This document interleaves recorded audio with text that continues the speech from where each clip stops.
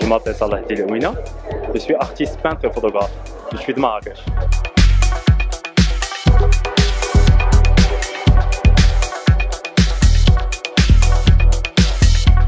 L'exposition, ça s'appelle The, The Revolution of Iconography. En fait, euh, comme tout homme, à un moment donné, on cherche le meilleur de soi, on, essaie de réaliser nos rêves. Et c'est là où ces légendes nous viennent en aide avec leurs expériences, leurs histoires, leurs sacrifices.